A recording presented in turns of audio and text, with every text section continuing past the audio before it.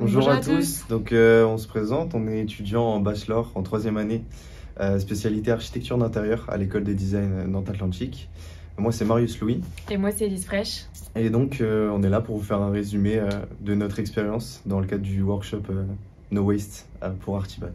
L'idée, c'était de réutiliser des matériaux qui avaient déjà eu une première vie et dans le cadre du coup d'une seconde, voire d'une troisième vie, fabriquer quelque chose à partir de ça, donc en lien avec notre filière.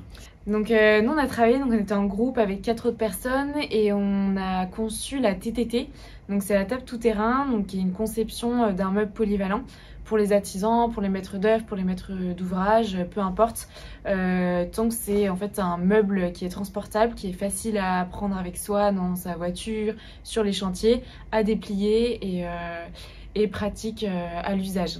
Du coup, les points forts de notre projet, ben, c'est surtout l'utilisation, euh, la réutilisation d'anciens morceaux de bois qui avaient été utilisés euh, pour euh, que sais-je, de la charpente, des, meubles ou quoi que ce soit. Oui, après, c'est de la récupération en général, de, c'est de tous les matériaux, d'ailleurs de la charnière jusqu'à la hanse qu'on a récupérée, mhm.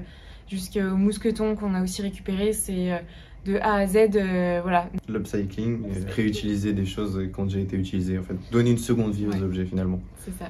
Euh, donc euh, cette démarche, elle est essentielle pour donner une seconde vie et donner de l'importance aussi à notre projet et le revaloriser. Donc cette expérience, euh, pour moi, elle a été très enrichissante. Déjà, non seulement on a travaillé en équipe et c'était enfin, c'était un beau projet tous ensemble, et aussi de travailler avec Artibat, parce qu'on ne travaille jamais avec des aussi grandes entreprises, entre guillemets, des aussi grands salons. Mhm. Et, et c'était très enrichissant déjà d'être un peu sensibilisé au métier que vise Artibat et euh, aussi d'être sensibilisé donc, euh, à cette notion d'écologie, d'éco-responsabilité, d'upcycling qui est euh, primordiale pour demain et même pour aujourd'hui. Et puis super cool de pouvoir voir nos projets se concrétiser et prendre place finalement dans le salon qui est Artibat.